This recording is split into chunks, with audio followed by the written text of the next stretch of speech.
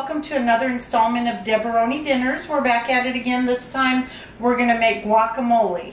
Um, you can see we've got the avocados. I don't put a lot of ingredients in here because um, the avocados are really good. You want them to taste fresh.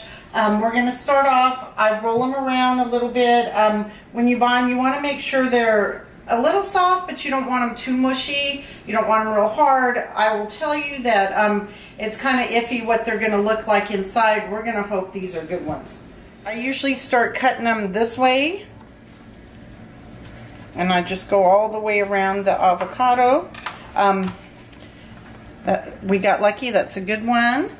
I kind of just slipped my finger in there because I rolled it around on the counter first. It kind of loosened it up from the skin.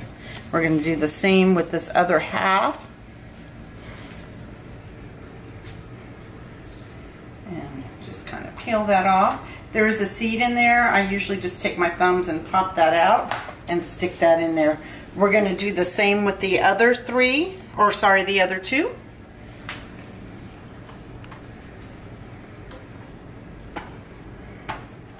Okay, so we've got our avocados peeled from their outer casing. Again, we kind of rolled them on the counter. That kind of helped them separate from the skin. I cut them lengthways and I just kind of pushed them out of their skin. This is a total of three avocados. Um, the next step, we're gonna, I usually put a little bit of um, seasoning on it before I start smashing it. We're going to start off with black pepper. I don't overdo it because the avocados themselves, these are nice fresh ones. They have a nice flavor. So I just sprinkle a little bit. Um, this is basically a, an all seasoning. It is saying red fajita, but it's basically an all seasoning. I just put a little tiny bit of that. Um, I do add a little salt. I don't use a lot of salt in my cooking, but this time I do. Um, this is just regular table salt. It's a nice giant, um, nice giant uh, shaker. We're going to have to hide this when Grandpa Gilmore comes over. You know who you are. You know you're not supposed to have salt. Just kidding. Okay, so we just give it a little bit of a sprinkle. Um, this is what you're going to want to search for when you come to our house, Grandpa Gilmore. Going to hide it like an Easter egg. All right, so this is with the seasoning on it. I'm going to mash it with a masher. I usually use a metal one, but I forgot to bring it over, so we're going to hope that this one works pretty good.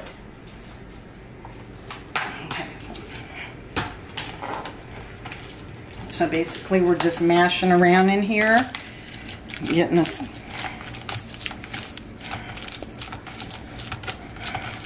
This one's not too bad. I might actually steal this and take it back to my house.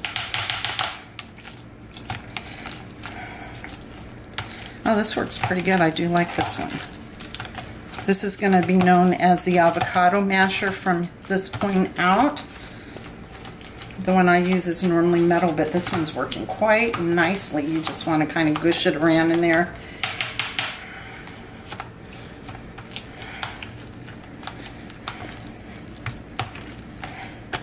Okay, so it's nice and mushy. If you want to get a look at that.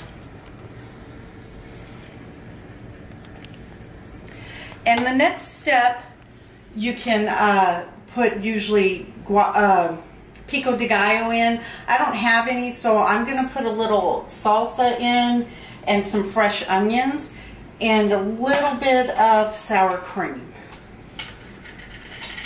So I'm going to put a little bit of the fresh onions in. Not a whole lot because sometimes people don't like the onions in there. But had I had pico, it would have some onions in it. So I'm just going to put a little bit of the onions in there. We chopped these earlier off camera. I'm sure everybody knows how to cut up onions. So go ahead put the lid on that.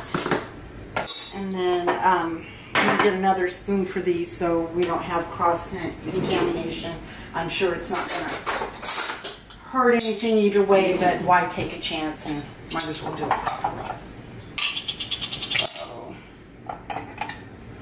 I'm going to stir up this salsa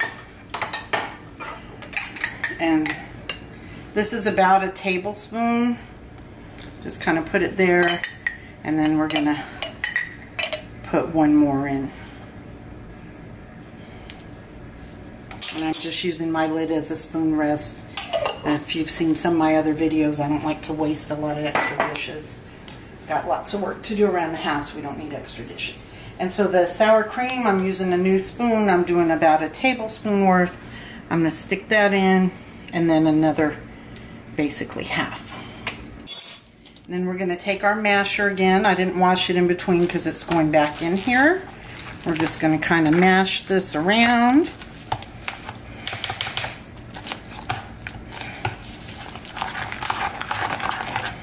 Stir it, mash. I may have put too much sour cream in here, but it'll taste good either way.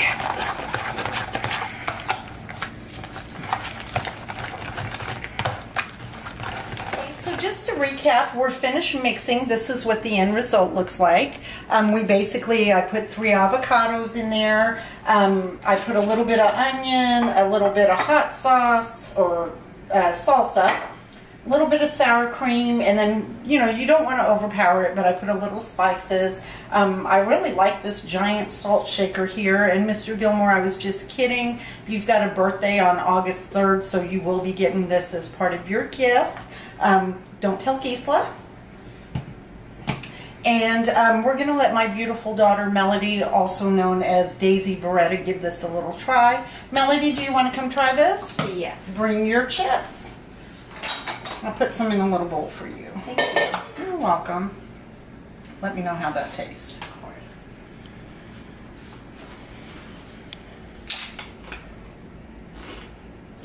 That's delicious, Mom. Is it? Do you like it? Good. Okay. Okay.